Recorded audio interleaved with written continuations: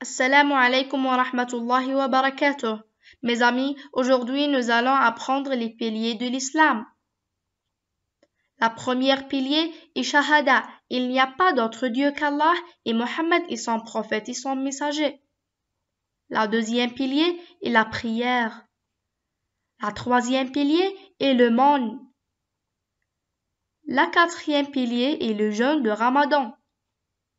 La cinquième pilier, le pèlerinage, une fois dans la vie.